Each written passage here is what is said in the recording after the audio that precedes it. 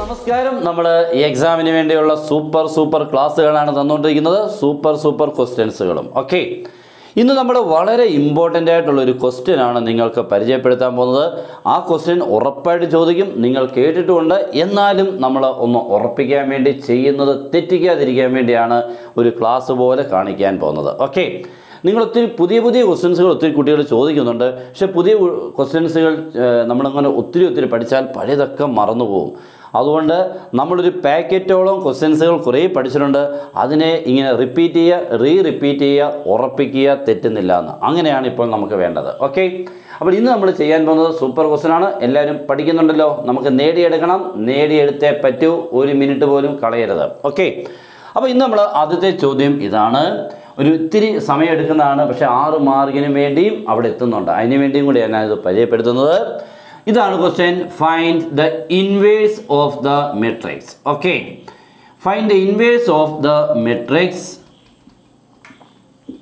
one three two zero two five one one minus three ഇതിന്റെ ഇൻവേഴ്സിനെ ഒന്ന് കണ്ടുപിടിക്കണം. ഓക്കെ അപ്പോൾ ഈ എക്സാമിന് ചോദിക്കും show that the function is invertible ഒരു ഫംഗ്ഷൻ ഇൻവെർട്ടബിൾ ആ വേർഡ് ഒന്ന് കേട്ടോണേ. ചില കുട്ടികൾ ചോദിച്ചു എന്താണ് ഇൻവെർട്ടബിൾ എന്നുള്ളത്? ഓക്കെ ഇൻവെർട്ടബിൾ എന്ന് പറഞ്ഞാൽ ഇത്രയേ ഉള്ളൂ. നമ്മൾ ഈ ക്വസ്റ്റിന് വേണ്ടി ചെയ്യാൻ പോകുന്ന ആദ്യത്തെ കാര്യമാണ് ഇൻവെർട്ടബിൾ എന്ന് പറഞ്ഞാൽ ഡിറ്റർമിനെ കണ്ടുപിടിക്കുമ്പോൾ പൂജ്യമാവരുത്. That's all determinant of this matrix ഒരിക്കലും എന്താവരുത്? പൂജ്യമാവാതിരുന്നാൽ മതി. Then we say that that matrix is invertible okay അപ്പോൾ നമുക്ക് ഇങ്ങോട്ട് പോകാം. സ്റ്റാർട്ട് ചെയ്യാം. ഇൻവേഴ്സ് എന്താണ് ഇൻവേഴ്സിന്റെ formula A inverse equal to adjoint divided by determinant ഇതാണ് ഫോർമുല മറന്നു പോകരുത്. ഓക്കെ ഇതാണ് നമ്മുടെ ഫോർമുല ഇയാൾക്ക് വേണ്ടിയാണ് നമ്മുടെ വർക്ക് ആദ്യം ഡിറ്റർമിനന്റ് ഓഫ് എ അങ്ങോട്ട് കണ്ടുപിടിക്കാം. ഞാൻ ആദ്യം ഡിറ്റർമിനെ കണ്ടുപിടിക്കാൻ പോവാണ്. എല്ലാവരും ശ്രദ്ധിക്കുക. ഈ മെട്രിക്സിന് ഡിറ്റർമിൻ എന്ന് പറയുമ്പോൾ നമുക്കറിയാം. എപ്പോഴും അറിയാൻ വയ്യാതിരിക്കരുത്. ഈ ഫസ്റ്റ് റോയിൽ കണ്ടോ? മൂന്ന് പേര് നിരന്ന് നിൽക്കുന്ന ഒന്ന് മൂന്ന് രണ്ട്. ഈ മൂന്ന് പേര് തുടങ്ങുന്ന മൂന്ന് brackets first okay that means one into ഒരു ബ്രാക്കറ്റ് മൈനസ് ത്രീ ഇന്റു ഒരു ബ്രാക്കറ്റ് ടു ഇന്റു ഒരു ബ്രാക്കറ്റ് ഇങ്ങനെ ഓക്കെ മൂന്ന് പേര് തുടങ്ങുന്ന മൂന്ന് ബ്രാക്കറ്റ് അങ്ങോട്ട് എഴുതുക. ഇനി ബ്രാക്കറ്റിനുള്ളിലുള്ളവരെ അങ്ങോട്ട് എഴുതി കഴിഞ്ഞാൽ കഴിഞ്ഞു. ആ ബ്രാക്കറ്റിനുള്ളിലുള്ളവരെ കണ്ടോണം ചെയ്യുന്നത്. ഈ വൺ ഇന്റു എന്ന് പറയുമ്പോൾ ഈ ബ്രാക്കറ്റ് കണ്ടല്ലോ?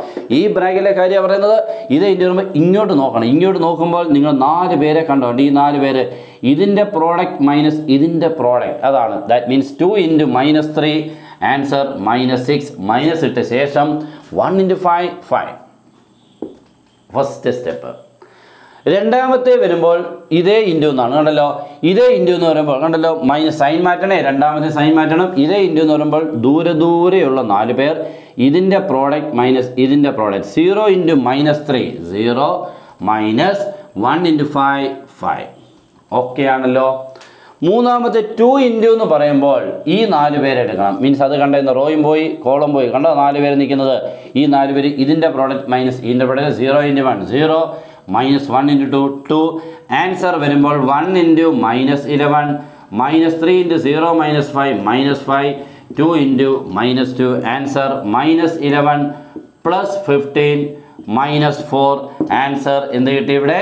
സീറോ കിട്ടി. ഓക്കെ ഇവിടെ അങ്ങ് സീറോ കിട്ടി. എന്തോ അൺഎക്സ്പെക്റ്റഡ് ആയിട്ട് സീറോ ആയിപ്പോയി കേട്ടോ. സീറോ കിട്ടിക്കഴിഞ്ഞാൽ ഇതിന് എന്തില്ല? ഇൻവേഴ്സ് ഇല്ല എന്നർത്ഥം. ഓക്കെ ഇതിന് അപ്പം നമുക്ക് ഇതിന് നോക്കിക്കേ. ഇൻവെർട്ടബിൾ ആണോ എന്ന് ഈ ക്വസ്റ്റ്യൻ ചോദിച്ചാൽ നമ്മൾ പറയും no it is this is not എന്താണ്? ഇൻവെർട്ടബിൾ ഇൻവെർട്ടബിൾ ആകണമെങ്കിൽ ഒരിക്കലും ഡിറ്റർമിന്റെ എന്താകാൻ പാടില്ല സീറോ ആകാൻ പാടില്ല. അപ്പോൾ എന്താണ് ഇൻവെർട്ടബിൾ എന്നുള്ളത് മനസ്സിലായി? അപ്പോൾ ഞാൻ ഇവിടുന്ന് ഒരു നമ്പറിനെ ഒന്ന് മാറ്റിക്കൊണ്ട് ഈ പ്രോബ്ലത്തിനെ ഇത്തിരി ഈസി ആക്കി എടുക്കാൻ പോവാണ്. വേണ്ട ഈ നമ്പർ ഒന്ന് മാറ്റിയാണ് കേട്ടോ. ഇതൊന്ന് ഫോർ ആക്കുകയാണ്. ഇനിയും പ്രശ്നമില്ല. ഓക്കെ അപ്പം നിങ്ങൾ ഡിറ്റർമിനെ മനസ്സിലാക്കി. എന്താണ് ഇൻവെർട്ടബിൾ എന്ന് മനസ്സിലായി. ഇൻവെർട്ടബിൾ ആകണമെങ്കിൽ ഒരിക്കലും എന്താകാൻ പാടില്ല സീറോ ഇപ്പോൾ ഇതിന്റെ ഡിറ്റർമിൻ സീറോ ആയതുകൊണ്ട് ഇതെന്തല്ല ഇൻവെർട്ടബിൾ അല്ല. ഓക്കെ അപ്പോൾ നമുക്കിനിയും അങ്ങോട്ട് വേറെ നമ്പർ മാറ്റുവാണേ. ആ നമ്പർ മാറ്റുമ്പോൾ ഇവിടെ മാത്രമേ വ്യത്യാസം വരത്തുള്ളൂ. Four into okay? അപ്പോൾ ഇവിടെ ഫോർ ഇന്റു വരും. അപ്പോൾ ഫോർ ഇന്റു മൈനസ് ടു എത്ര വരും? മൈനസ് എയ്റ്റ് ഇനി നമുക്ക് നോക്കാം. ഇപ്പോൾ നോക്കിക്കേ ഇതിൽ മൈനസ് ഇലവണ് മൈനസ് എയ്റ്റ് ഇവിടെ പോസിറ്റീവായിട്ട് പതിനഞ്ചുണ്ട് പതിനൊന്ന് തൊട്ടും പത്തൊൻപത്. ആൻസർ മൈനസ് ഫോർ ഓക്കെ അപ്പോൾ ഡിറ്റർമിനേറ്റ് ഇപ്പോൾ ഇതെന്തായി? ഇൻവെർട്ടബിൾ ആയി. കാരണം ഡിറ്റർമിന്റ് പൂജ്യമല്ല. ഓക്കെ ആണല്ലോ. അപ്പോൾ എന്താണ് ഇൻവെർട്ടബിൾ എന്നുള്ളതും മനസ്സിലായി. ഇൻവെർട്ടബിൾ ആകണമെങ്കിൽ ഇങ്ങനെ കിട്ടണം. പൂജ്യം കിട്ടരുത്. നേരത്തെ കിട്ടിയപ്പോൾ പൂജ്യം ആയിരുന്നു. അപ്പോൾ അത് ഇൻവെർട്ടബിൾ അല്ല. ഓക്കെ ഇപ്പോൾ ഇൻവെർട്ടബിൾ ആയി. പൂജ്യമല്ല. ഡിറ്റർമിന്റെ പൂജ്യമല്ലാതാകുമ്പോഴാണ് ഇൻവെർട്ടബിൾ ഓക്കെ നെക്സ്റ്റ് നമുക്ക് വേണ്ടത് ഇതിന്റെ അഡ്ജോയിന്റ് ആണ്. അഡ്ജോയിന്റ് കണ്ടുപിടിക്കാൻ പല വഴികളുണ്ട്. ഞാനിപ്പോൾ ചെയ്യാൻ പോകുന്ന മെതേഡായിരിക്കും നിങ്ങൾക്ക് ഇത്തിരി ഈസി എല്ലാവരും നല്ലതുപോലെ നോക്കുക. ഓക്കെ ഈ മൂന്ന് ഈ മെട്രിക്സിനെ നാല് തവണ എഴുതുക. വണ്ണ് ത്രീ ഫോറ് കണ്ടോണേ? പിന്നെയും one three four zero two five one one minus three പിന്നെ ഒന്നുകൂടെ എഴുതാം. One three four zero two five ആ one one minus three okay ആണല്ലോ? പിന്നെ one three four zero two five one one minus three okay ആയി നാല് തവണ എഴുതാൻ ബുദ്ധിമുട്ടില്ല. എന്നിട്ട് എന്നിട്ട് ഇതങ്ങ് വെട്ടിക്കളയണം കേട്ടോ. അപ്പോൾ നിങ്ങളായിരിക്കും ചുമ്മാ എന്തിനാണ് എഴുതുന്നത് കേട്ടോ. പക്ഷേ ഇതാണ് ഇതിന്റെ ഏറ്റവും നല്ല മെത്തേഡ് കുട്ടികൾക്കെല്ലാം ചെയ്യാൻ പറ്റുന്ന മെത്തേഡ് ഇതാണ്. വെട്ടി ശേഷം കണ്ടോ അകത്ത് കുറച്ച് പേരുണ്ട്. ഇത്ര ഇത്രയും പേരെ കണ്ടോ? ഇത്രയും പേരിൽ നിന്നും നമുക്ക് അഡ്ജോയിനെ വളരെ എളുപ്പത്തിൽ കണ്ടുപിടിക്കാൻ പറ്റും. ഓക്കെ എങ്ങനെയാണെന്ന് നോക്കണം നമുക്ക് ആദ്യം കോ ഫാക്ടർ മെട്രിക്സ് ആണ് കിട്ടുന്നത്.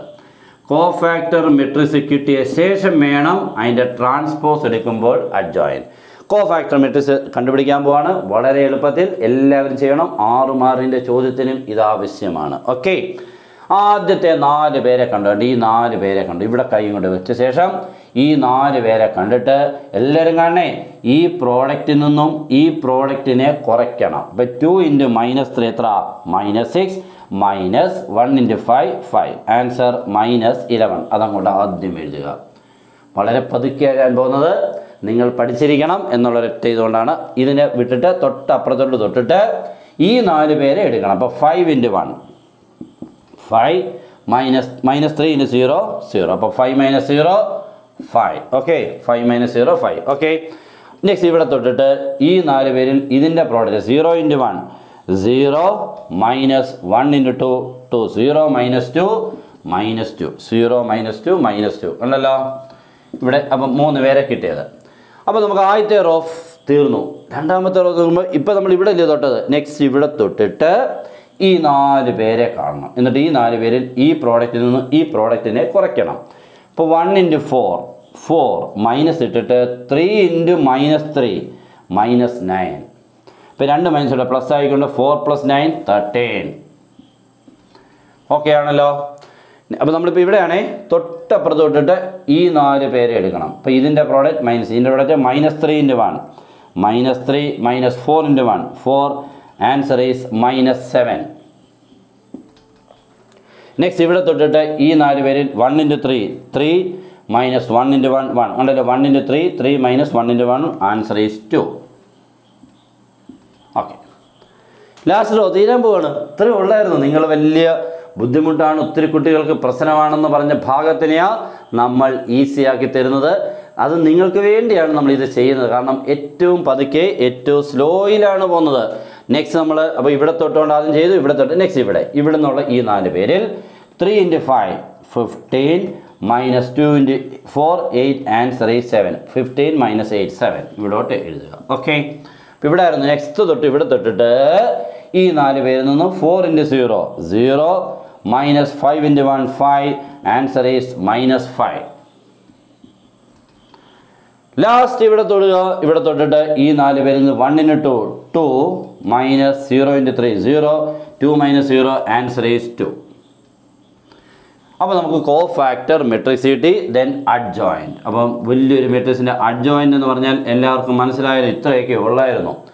ഫസ്റ്റ് റോ എടുത്തിട്ട് ഫസ്റ്റ് കോളം ആക്കണം. അവിടെ minus eleven five minus two താഴോട്ട് അങ്ങോട്ട് എഴുതണം. Minus eleven five minus two next thirteen minus seven two ഉണ്ടല്ലോ രണ്ടാമത്തെ റോ രണ്ടാമത്തെ കോളം മൂന്നാമത്തെ റോ മൂന്നാമത്തെ column seven minus five two okay adjoint കിട്ടി അഡ്ജോയിന്റ് കിട്ടി ഡിറ്റർമിന്റ് കിട്ടി. കണ്ടല്ലോ ഡിറ്റർമിന്റ് ചുമ്മാ അതൊന്ന് ഡിവൈഡ് ചെയ്തിട്ടേക്കണം.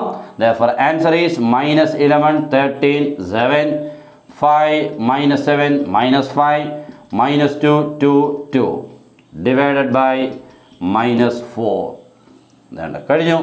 അപ്പോൾ നമുക്ക് ഇൻവേഴ്സ് എന്ന് പറയുന്നത് യാഥാർത്ഥ്യമായി നിങ്ങൾക്ക് ചെയ്തെടുക്കാൻ വേണ്ടിയുള്ള സമയമുണ്ട്. അതിനാണ് ഞാൻ ഇപ്പോൾ ഇത്ര നേരത്തെ ഇട്ടത്. ഇനി നമ്മുടെ സോൾവ് ബൈ മെട്രിക്സ് മെത്തേഡൊക്കെ നമ്മൾ ചെയ്യാനുണ്ട്. കേട്ടല്ലോ? ഓക്കെ ആണല്ലോ? ഈ ക്വസ്റ്റ്യൻ വളരെ എളുപ്പത്തിൽ ചെയ്യണം. വളരെ നല്ലപോലെ നമുക്കൊരു സൂപ്പർ ക്വസ്റ്റിനൂടെ പരിചയപ്പെടാം. ഓക്കെ നമ്മുടെ രണ്ടാമത്തെ ക്വസ്റ്റ്യൻ പ്രോബിലിറ്റി എന്നുള്ളതാണ്. വളരെ ഇമ്പോർട്ടന്റ് ആയിട്ടുള്ള ഒരു ക്വസ്റ്റ്യൻ ആണ്. ഇതിന്റെ ഒരു ഇമ്പോർട്ടന്റ് വേർഡ് നിങ്ങൾ ശ്രദ്ധിക്കണം. ഇൻഡിപെൻഡന്റ് ഓക്കെ അതിനൊരു ക്വസ്റ്റ്യൻ ഉണ്ടാവും. അതിനുവേണ്ടിയാണ് കണ്ടല്ലോ? രണ്ട് ഇവന്റുകൾ ഇൻഡിപെൻഡന്റ് ഇവന്റ്സ് ആണെന്ന്. എയും ബിയും ഓക്കെ ആ എന്നിട്ട് പി ഓഫ് എ ഉണ്ട് പി ഓഫ് ബി ഉണ്ട്. Find P of A and B P of A and not B P of A or B P of neither N or B എല്ലാം എടുക്കുക ചുമ്മാ കുറേ പേടിപ്പിക്കാൻ കുറേ വേർഡുകളും ഒക്കെ തന്നേക്കുന്നതേ ഉള്ളൂ. ഓർത്തോണം. ഇവിടെ ഇൻഡിപെൻഡന്റ് ഇവന്റ്സ് എന്ന് പറയുമ്പോൾ തന്നെ ഒന്നാമത്തെ കാര്യം ഇവിടെ കണ്ട എന്താ കണ്ടുപിടിക്കുന്നത്? P of A and B കണ്ടല്ലോ? P of A and B എന്ന് പറഞ്ഞാൽ P of A intersection B എന്നാണ്. ആൻഡ് എന്ന് എപ്പോൾ കണ്ടാലും ഏത് സൈനാണ് intersection P of A intersection ബിയുടെ ഫോർമുല ഇൻഡിപെൻഡന്റ് എന്ന് ആയതുകൊണ്ട് ഇങ്ങനെ നമുക്ക് എളുപ്പമാണ് P of A into P of B അത്രയേ ഉള്ളൂ. ചുമ്മാ വി ഓഫ് എയും ബി ഓഫ് ബി ഇന്റു ചെയ്യണം. എന്നിട്ട് ഇതും ഇന്റു ചെയ്യണം. Point three into point six okay ഇങ്ങനെ കിട്ടിക്കഴിഞ്ഞാൽ ഉടനെ നമ്മൾ കാൽക്കുലേറ്റ് എടുത്തിട്ട് point three into point six അതായിരിക്കും നല്ലത്. അങ്ങനെ ചെയ്യുമ്പോൾ നമുക്ക് പോയിന്റ് വൺ എയ്റ്റ് എന്ന് കിട്ടും. ഓക്കെ ആറ് ഗുണം മൂന്ന്. പതിനെട്ട് വലത്തുനിന്ന് ഇടത്തോട്ട് രണ്ട് ഡിജിറ്റ് മാറ്റി പോയിന്റ് ഇടുന്നാൽ ആൻസർ കിട്ടും. രണ്ട് ഡിജിറ്റ് ഉണ്ടല്ലോ ആൻസർ ഓക്കെ അപ്പോൾ ഒന്നാമത്തെ രണ്ടാമത്തെ കാര്യം P of A and not B ഓ അപ്പോൾ എന്ത് ഈ നോട്ട് ബി എന്നൊക്കെ പറഞ്ഞു നോക്കിയോണേ അപ്പോൾ ആദ്യം നമുക്ക് ഇതിനെ ആൻഡ് എന്നുള്ളതിനെ നമുക്ക് ഇന്റർസെക്ഷൻ ആക്കാം. ആൻഡ് എപ്പോൾ കണ്ടാലും എന്താണ്? ഇന്റർസെക്ഷൻ നോട്ട് ബി എന്ന് പറഞ്ഞാൽ എന്താണെന്ന് നോക്കിയോണേ കോംപ്ലിമെന്റ് എന്നാണ് മണ്ടയ്ക്ക് ഒരു ചെറിയൊരു വരയുണ്ട്. നോട്ട് ബി ആ.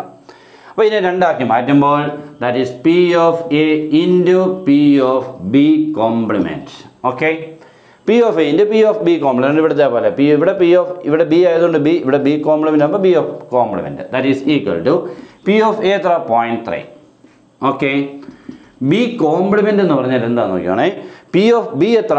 പോയിന്റ് ആ. ശ്രദ്ധിച്ചിരിക്കണം.